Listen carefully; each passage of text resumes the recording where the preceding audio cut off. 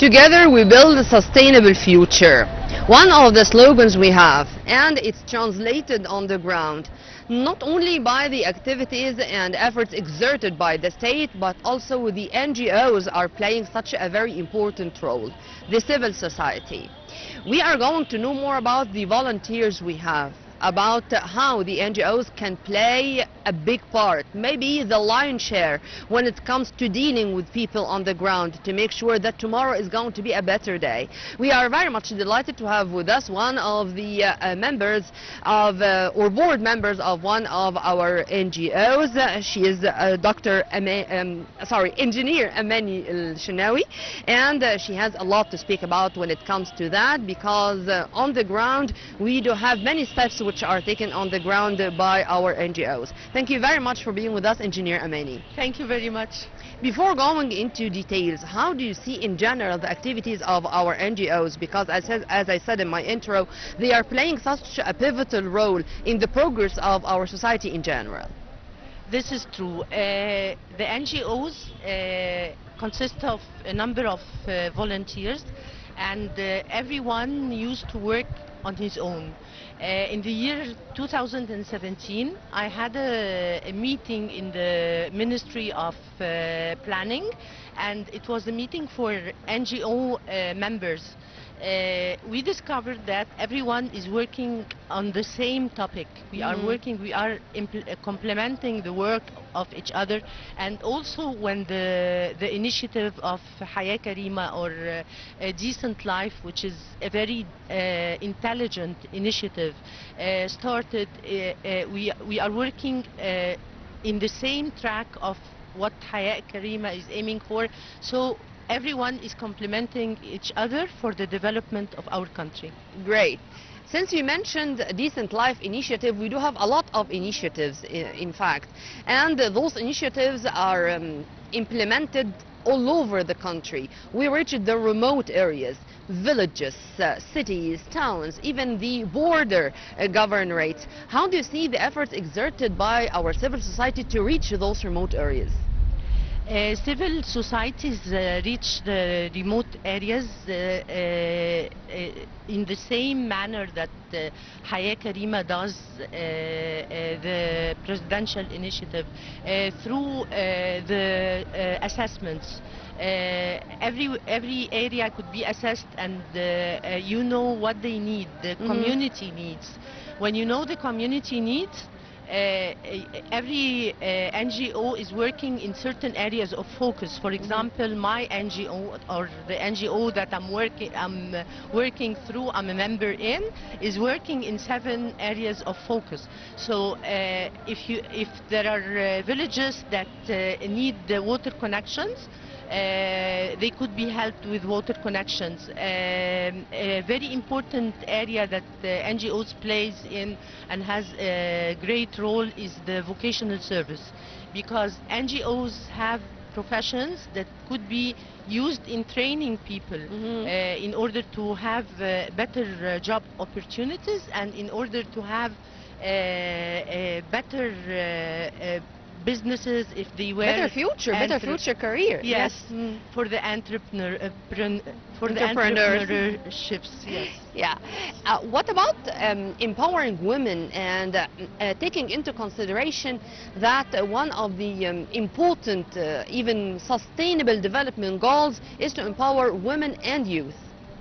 Uh, the sustainable uh, development, uh, the sustainable uh, plans of uh, Egypt and the, the plans of Egypt 2030 uh, and also the sustainable plan of the United Nations um, takes care of women as uh, a very important part of the countries and uh, also the youth. Yeah. Uh, uh, the equity is very important in the sustainable plans. Mhm. So uh, in our culture too, the Egyptian culture, it was never a problem for women Mhm. being empowered because in our culture, uh, empowerment is there. We had Yeah. queens uh, when there were no queens uh, Yeah. wherever. Uh, so uh, Egyptian women are empowered. Maybe in some uh, eras uh, empowerment was less or more, but uh, uh, now it is uh, the the country is taking very good care of that. The NGOs too is taking very good care of women um, in uh, very in uh, very very uh, special ways. Even the Ministry of Social Solidarity is allocating a very good initiative for women. Uh, and Yeah. the NGOs help women to go and apply for those initiatives. Being involved into civil work, Engineer Amani, how do you see now the culture of volunteering? Do we have many volunteers, I mean, among our youth? It's not only to volunteer with their money, even with their cloth or something like that, it's also to volunteer with their time and effort. How do you see this and if this is now one of our culture um, features? It's now something which we easily can find among our youth. If you want to elaborate on that, please. Volunteers are people who know uh, how to uh, try and give back to their country, uh, who know the, their social responsibility in the country. So you find volunteers uh, uh, givers. They are uh, givers. It's not about giving money. Giving time is more precious than giving money. Giving your, from your experience, from your profession. That's why uh, vocational service is very important Mhm. because everyone gives from uh, his profession. If he's a doctor, he can uh, uh, train uh, young doctors, um, uh, nurses, and uh, in all fields, in engineering and in all fields. So- And, and in your opinion, what are the most important challenges you are facing? Uh, as uh, volunteers, you're uh, facing uh, that uh, uh, the financial Support. support, yes, because uh, volunteers don't have that money. Uh, we always have to make fundraising in order Mhm. to get money or uh, get partnerships from uh, companies and uh, banks uh, who have CSR. Uh, as uh, we're working in very important and uh, um, very uh, good uh, areas that will uh, develop the country. So uh, it's the first uh, obstacle, the, the finances. Uh, getting good volunteers too is uh, you take time in order to uh, uh, to to let people join and uh, uh, they come and um, uh, watch how the projects go and how Yeah. it's very touchy and very uh, important that Mhm. people have uh, water in their houses. Mhm. Uh, uh, in- that a child uh, who had heart disease uh, Mhm. gets over his problem and starts playing and running. Uh, this is very touchy. So uh, the volunteers who are really having the are givers who are givers. Mhm. Uh, when they come once, they uh, like to join and to make the effort. H- How do you see also the initiatives which were launched by the uh, government or by the state and were implemented partially by the state but also the NGOs had a share in it like um, the health uh, insurance for example um, 100 million uh, uh, health or 100 million صحة uh, stuff like that when you go on the ground and uh, being involved into such initiatives and implementing these initiatives, uh, how do you see the efforts exerted on the ground? Uh, as volunteers, we, wor- we work on uh, health uh, projects.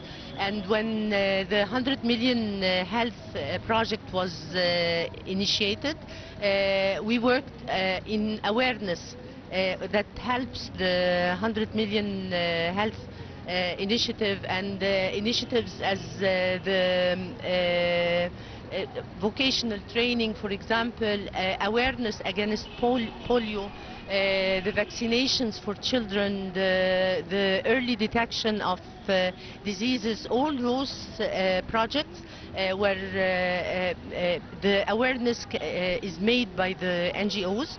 The NGOs uh, work in parallel with the government and with the private sector in order to develop our country. And um, Engineer Amani, in my humble opinion, um, if you want to know to what extent this society is civilized, see how this society is dealing with people with the determination or people with the special needs, with the disabled. Uh, how do you see also now efforts exerted to make people with the special needs totally and fully integrated into our society?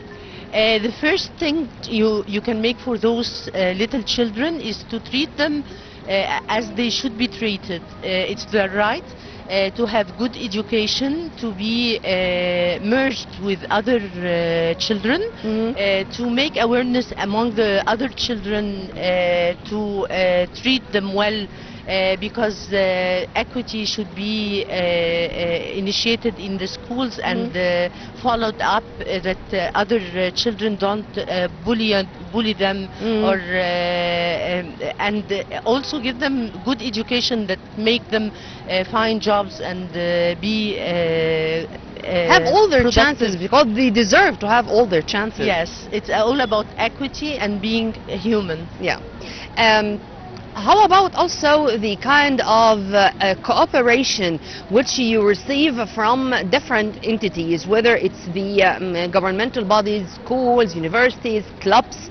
Um, how do you see the kind of cooperation they introduce to civil societies here in Egypt? Uh, all the entities are uh, very helpful. Uh, if we have a certain project that needs a space to make the awareness for people uh, for uh, blood donations, we can go ask any club or university uh, that we uh, get the, the, the blood donation uh, cards and uh, volunteers who will take care of the project in order to have uh, two days, for example, blood the uh, blood donation campaign.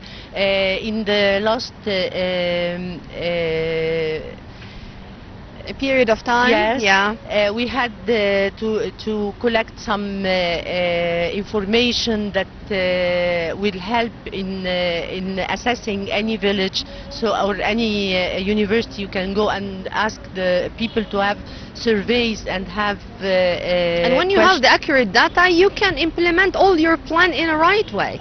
Um, uh, Engineer Amani, when it comes to education and to vocational education in a specific, it comes to a very important part of our um, future, if I may call it this way.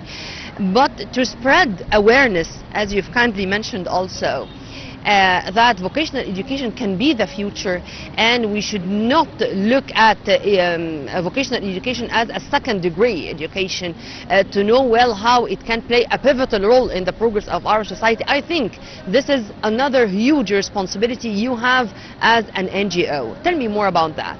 This is through uh, vocational uh, uh, vocational training and uh, uh, transferring the knowledge from uh, people to other people who need it. For example, uh, people who uh, uh, are working in the factories need the vocational uh, training before they start working. Young doctors need vocational training from senior doctors before they start training. So this as volunteers and having we are we're old volunteers the elderly people always have the experience and this is precious Mhm. uh, that we can uh, give to the youth uh, the youth in our country our country is a youthful one so Yeah. we have the majority of people who are youth and who are uh, having a lot of potentials and having good education and vocational service will make the future very happy for our country. Yeah, I'd like also to know the feedback you have when you achieve something fruitful on the ground. What's the feedback, uh, feedback you have from the people? And I think the feedback from a simple old woman, for example, a child is very precious. Tell me about these experiences because I really know that they can be that fruitful. Uh, the beginning of uh, my uh, joining an NGO was uh, that I saw people how happy they are when they found uh, find the the water coming in their house. Yeah. Uh, that the, they had uh, the, the the people, the volunteers, before I was one of them, uh, were uh, went to the house and taught them how to use the toothbrush and how to wash their hands. Uh, they gave them the, the tools, the Mm. soap and everything uh, to use and the, and the tooth uh, paste and everything. Uh, so this was very touchy that uh, now of course the government is doing a great effort that most of the country is covered with water Yeah. connection already. Mm. Uh, the time I was talking about was uh, before. Uh, also people who have health issues, Mm. uh, heart diseases, um, tumors. When you find people uh, who had the awareness and uh, uh, used the early detection to be cured, this is very touchy and uh, It is very touchy and this is us, this is being Egyptians. Engineer Amani, thank you very much for your input, ma'am. Have a very nice day. Thank you very much. Right after the short break, I'm going to be back with more.